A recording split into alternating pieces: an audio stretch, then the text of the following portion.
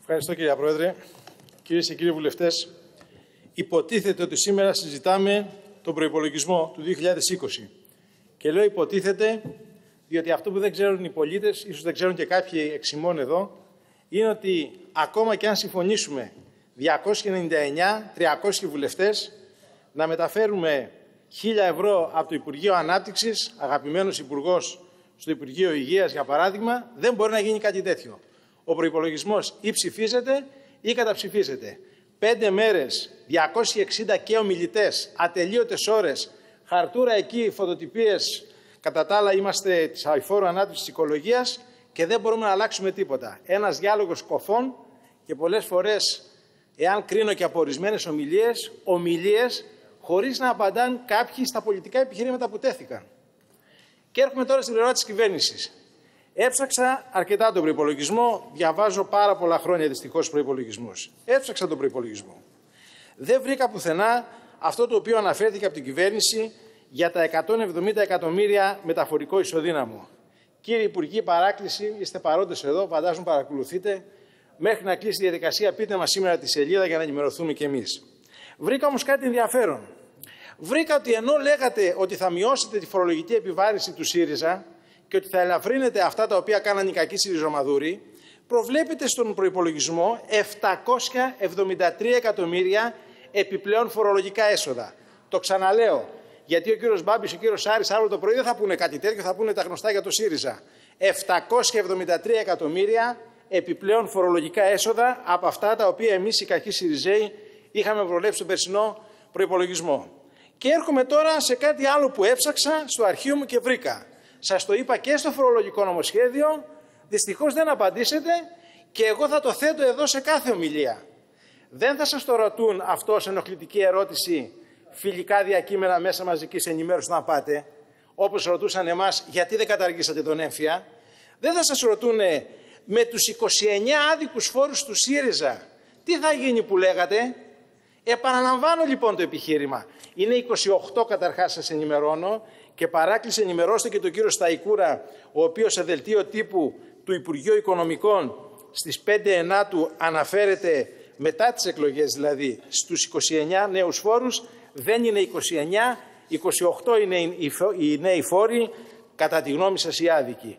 Ρωτάω όμως ξανά, αυτούς τους 29 άδικους φόρους τους ΣΥΡΙΖΑ, για τους οποίους να πω την κοινή λαϊκή φράση, δεν θα την πω γιατί είναι και ώρα που βλέπουν μικρά παιδιά, Μας είχατε πραγματικά ζαλίσει ως ότι θα τα καταργήσουμε και γιατί βάλατε αυτό το φόρο και τι θα γίνει με αυτό και τι θα γίνεται με τ' άλλο. Το καταθέτω και αυτό στα πρακτικά και θα γίνεται συνέχεια μέχρι να απαντήσετε. Πότε θα καταργήσετε έστω έναν από αυτούς τους 29 άδικους φόρους του ΣΥΡΙΖΑ; Ανησυχώ κυρίες και κύριοι Υπουργοί. Ανησυχώ πάρα πολύ για τις πολιτικές σας ομιλίες. Ανησυχώ και για ομιλίες των βουλευτών. Αλλά για εσά των Υπουργών ανησυχώ διπλά. Διότι έχετε την ενημέρωση. Λέτε τα ίδια και τα ίδια επιχειρήματα. Υπάρχει υπουργό σας, δεν θέλω να πω το όνομά του γιατί μαθαίνω κάτι για ασχηματισμού και δεν θέλω να είμαι εγώ η πηγή προβλημάτων στην κυβέρνησή σας, ο οποίος έκανε τέσσερις φορές στην Επιτροπή Οικονομικών Υποθέσεων και στην Ολομέλεια την ίδια ομιλία.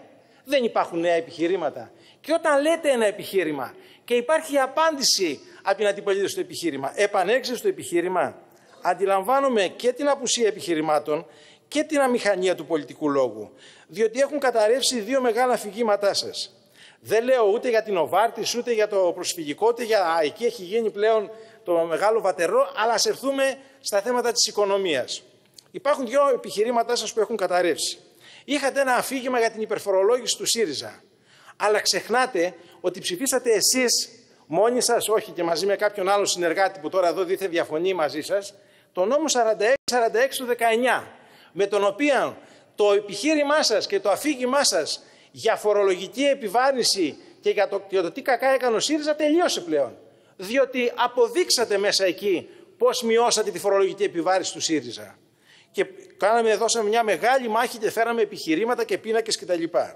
Επίσης τελείωσε και το εφήγημά σας για την οικονομία, για το πόσο κακή πορεία κράτησε ο ΣΥΡΙΖΑ στην οικονομία, διότι και για το θέμα του υπερταμείου και για τα πλεονάσματα και για τα 37 δις μαξιλάρι, αν κάποιος διαβάσει τον προϋπολογισμό, θα βρει πάρα πολλές απαντήσεις και επιβεβαίωση των δικών μας πολιτικών. Ανησυχώ, κυρίες και κύριοι Υπουργοί. Ανησυχώ γιατί είπατε, τι δεν είπατε αυτές τις μέρες. Για όλα αυτά η ο ΣΥΡΙΖΑ. Υπάρχουν ομιλητές σας που βγαίνουν εδώ και αντί να εξηγούν τα του προπολογισμού, επιτίθενται στο ΣΥΡΙΖΑ. Απαντήστε μου, σας παρακαλώ, σε δύο απλά ερωτήματα. Ποια ήταν η κατάσταση που παραδώσατε την οικονομία τον Ιανουάριο του 2015 σε όλα αυτά τα οποία κατηγορείτε εμάς και ποια είναι η κατάσταση που παραλάβατε την οικονομία τον Ιούλιο του 2019. Δεν μιλάμε για πλεονάσματα. Σας θυμίζω ότι τότε υπήρχε πολιτικός τέλεχος της κυβέρνησής σας, το οποίο έλεγε ότι δεν θα έχουμε να πληρώσουμε μισθούς και συντάξεις. Και μιλάτε τώρα εμάς για ταμιακά διαθέσιμα και για πλεόνασμα; Και επίσης παράκληση, επειδή λέτε πάρα πολλά και κάνετε μεγάλη ανάλυση, βάλτε κάποιον υπουργό σας ή κάποιο πολιτικό ή κάποιο βουλευτή σας ή κάποιον άλλο να μας εξηγήσει ποιες πολιτικές, ποια κόμματα και ποιο πολιτικό προσωπικό οδήγησε τη χώρα στην κρίση και στη χρεοκοπία. Δεν θα πάρουμε απάντηση, αλλά να είστε σίγουροι ότι μέρα-μέρα, όσο απομακρυνόμαστε από το πέρας του μήνα του μέλητός σας, καταλαβαίνουν οι πάντες ότι αυτά που λέγατε ήταν προεκλογικά πυροτεχνήματα και έρχεται η ώρα τώρα να απαντηθούν ερωτήσεις. Καταθέτω στα πρακτικά. Επειδή δυστυχώς ορισμένοι οι οποίοι έρχονται εδώ και μιλούν ξεχνούν το τι ψηφίστηκε εδώ σε αυτή τη Βουλή. Μειώσεις φορολογικών επιβαρύσεων από ΣΥΡΙΖΑ. Διότι κάποιοι λένε το πρώτο φορολογικό νομοσχέδιο με φορολογικές μειώσεις. Η πρώτη μεγάλη μείωση φορολογικών βαρών έγινε από το κυβέρνηση ΣΥΡΙΖΑ από τότε που φέρατε τη χώρα στην κρίση και φέρατε όλα αυτά τα δύσκολα μέτρα. Εμείς καταφέραμε και φέραμε αυτές τις μειώσεις. Σταδιακή μείωση του φορολογικού συντελεστή από το 29% στο 25%, νόμο 4579 του 18. Μείωση του έμφυα κατά 260 εκατομμύρια, πολύ μεγαλύτερο από το δικό σας και με συγκεκριμένη στόχευση ποιους να ελαφρύνουμε. Νόμο 4579 του 18. Κατάργηση του δικού φόρου κατανάλωσης στο κρασί. Νόμος 4583, μικρή ανοχή κυρία Πρόεδρε, δεν θα φτάσω στην υπέρβαση που κάναν άλλοι βουλευτές. Επανήλθα στο μειωμένο συντελεστή ΦΠΑ 13% τρόφιμα και ποτά. Επανήλθα στο μειωμένο συντελεστή ΦΠΑ 13% υπηρεσία εστίασης.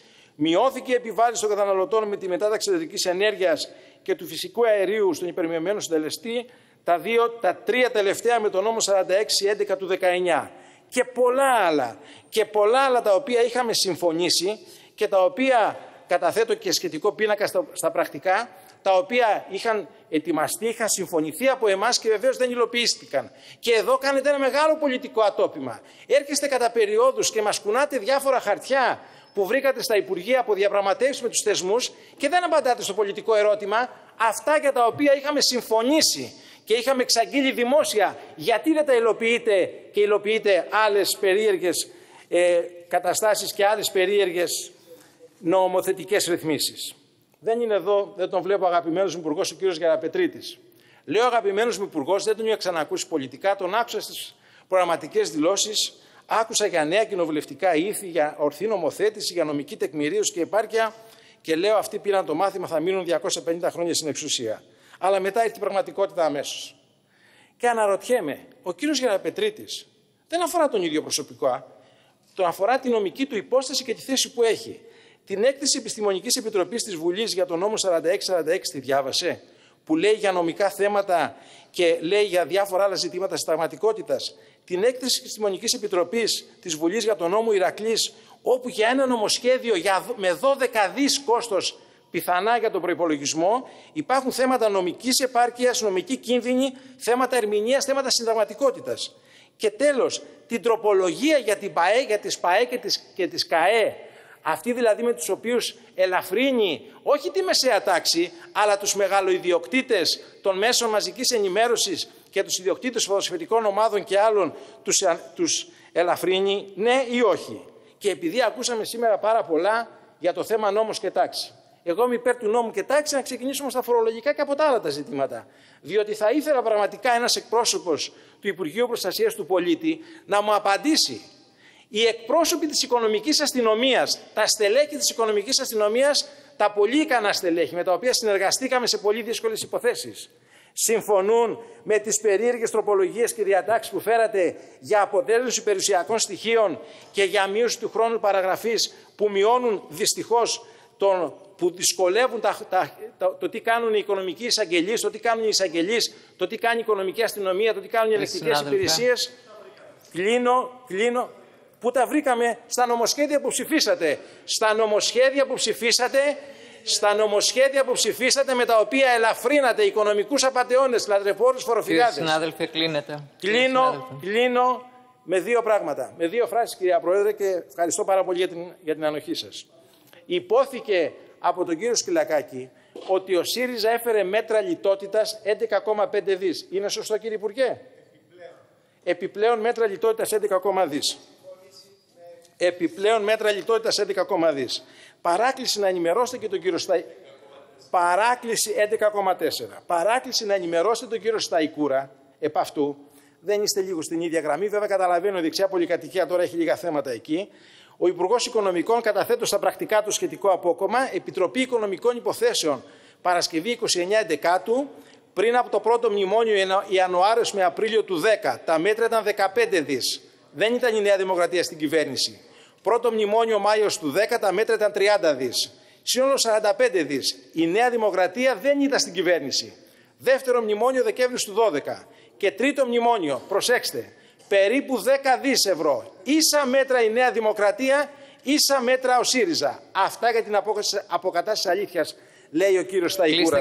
Παράκληση λοιπόν, συνεννοηθείτε τουλάχιστον στην κριτική που κάνετε στο ΣΥΡΙΖΑ. Και σε ό,τι αφορά το σκοπευτήριο της Κεσαριανή, κατεβαίνοντα, κλείνω και κατεβαίνω, σε ό,τι αφορά το σκοπευτήριο Κεσαριανή, θα δώσω στον κοινωνιστικό εκπρόσωπο της Νέας Δημοκρατίας το ΦΕΚ όπου στο άρθρο 44 επικυβέρνηση ΣΥΡΙΖΑ παραχωρήθηκε ο χώρος στο Δήμο και τη δικαστική απόφαση για την οποία τον παραχωρώ. Ευχαριστώ πολύ για το χρόνο σας. είναι αυτό που κάνετε.